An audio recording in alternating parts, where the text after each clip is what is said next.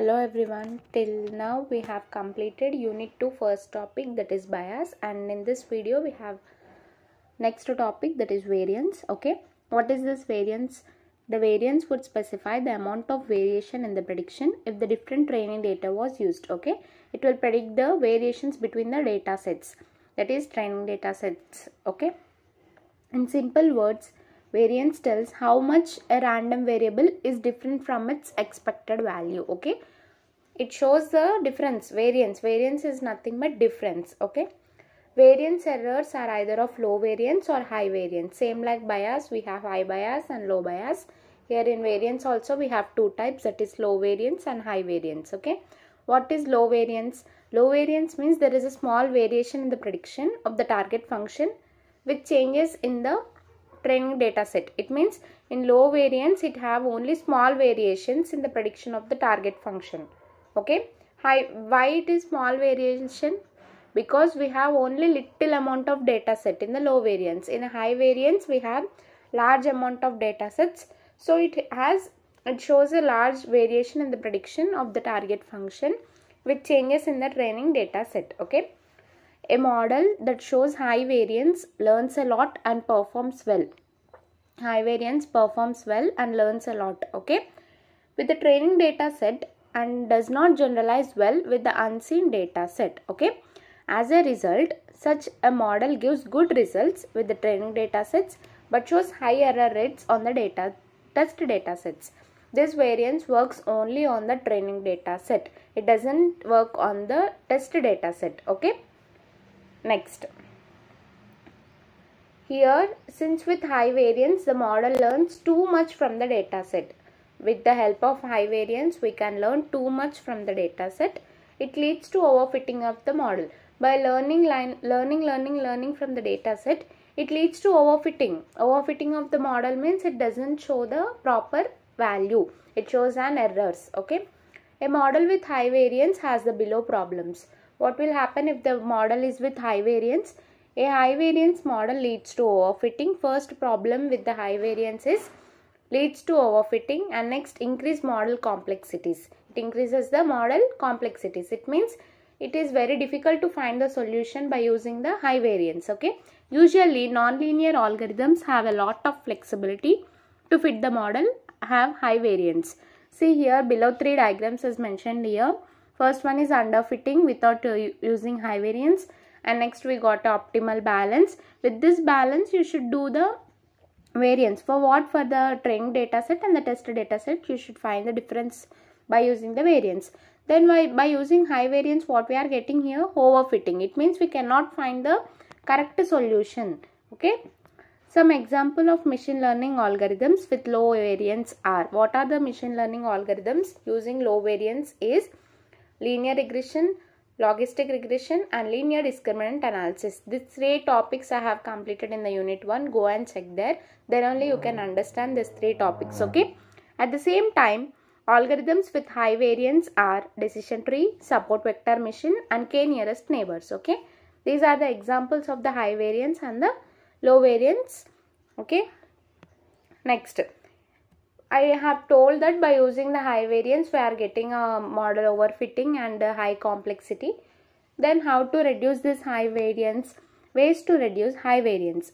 First one is reduce the input features or number of parameters as a model is overfitted. That means by using the large number of inputs, we are getting the model overfitting, right?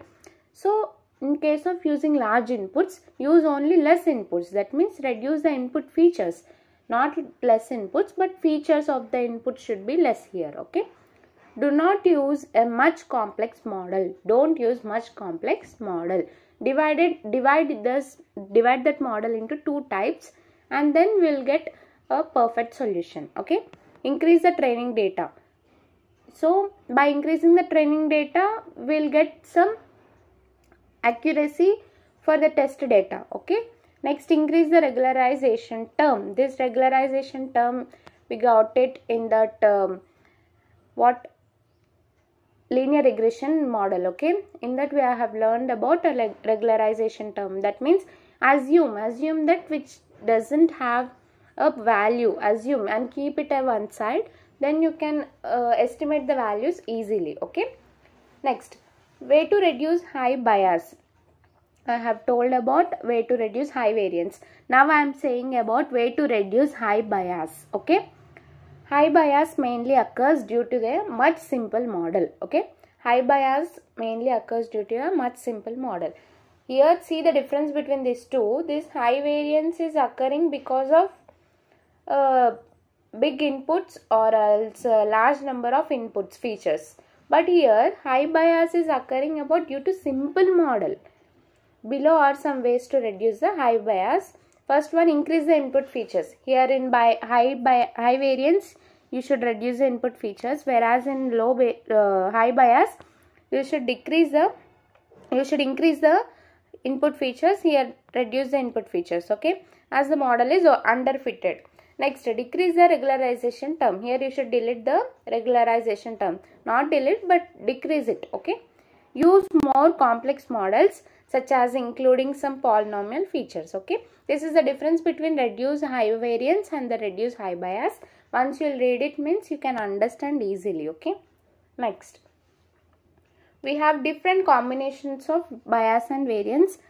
Uh, mainly there are four possible combinations of bias and variance which are represented by the below diagram here. Once see this diagram we have compare this okay? Excuse me see here uh, uh, you should see the diagram like this. Low bias low variance.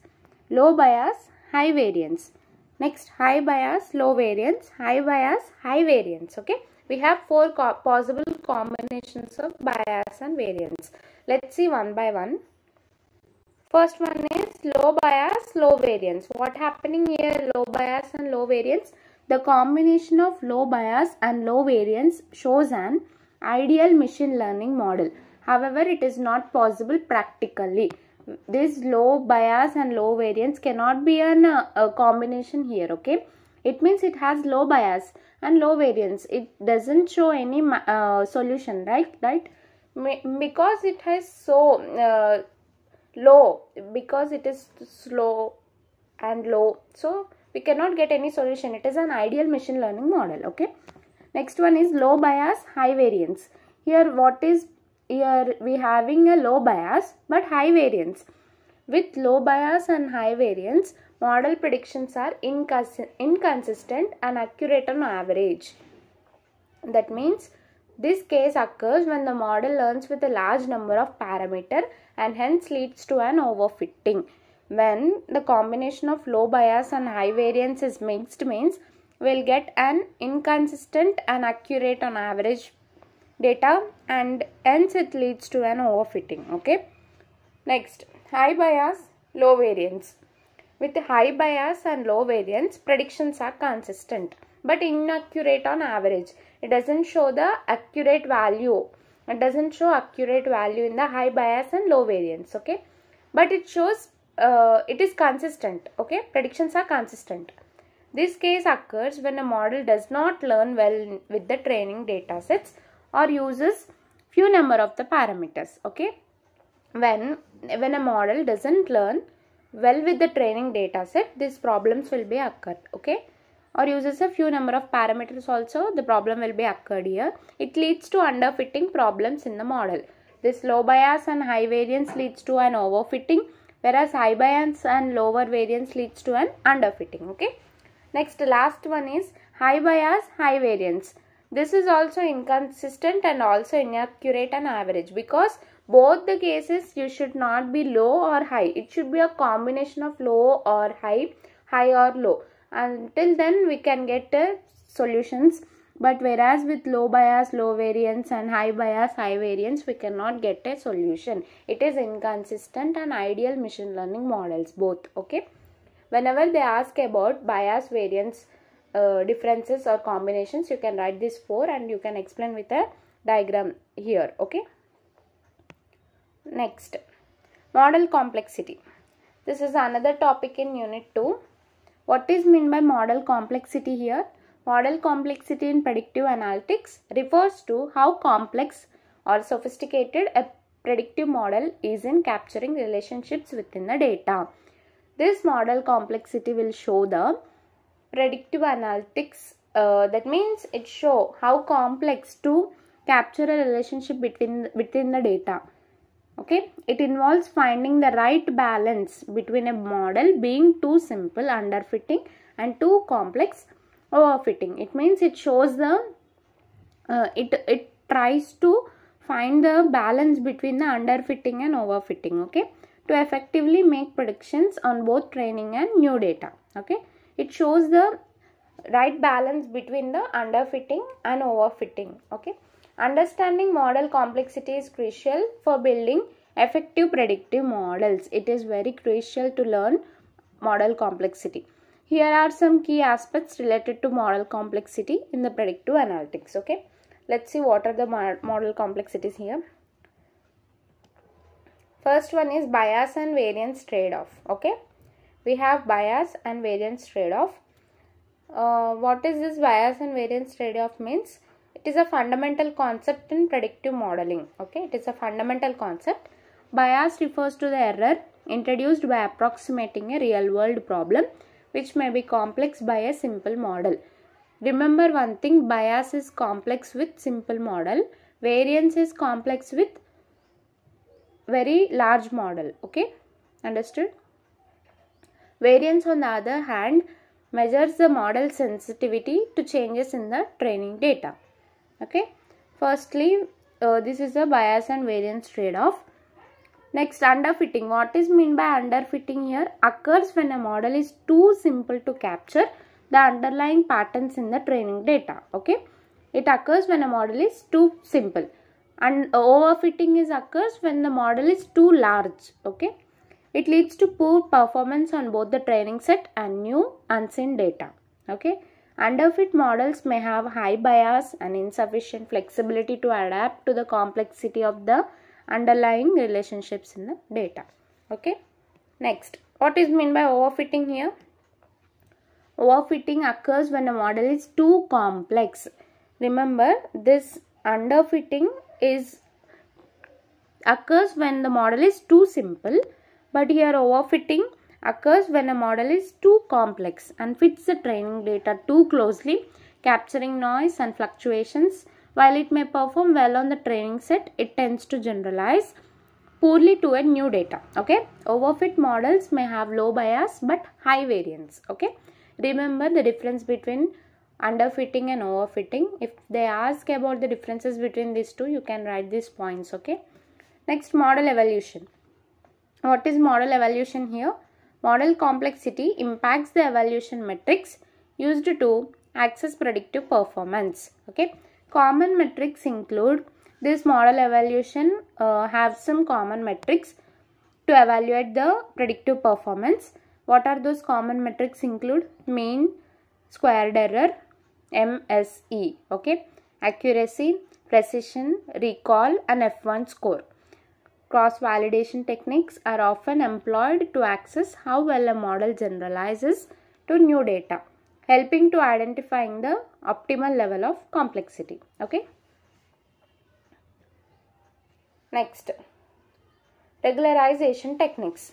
Regularization methods such as L1 lasso and L2 ridge regularization are employed to control model complexity by penalizing large coefficients. These techniques help prevent overfitting by adding a regularization term to the model's cost function. When we are doing uh, bias and variance problems, we are getting a overfitting problem, right? To overcome this overfitting, we are using a techniques like uh, regularization methods that is L1 lasso and L2 regularization. Okay. Next, to feature engineering. Feature selection and engineering plays a role in managing model complexity. Selecting relevant features and transforming them appropriately can enhance model performance and reduce the risk of overfitting. One of the uh, reason uh, to to overcome with the risk of overfitting we can use also feature engineering okay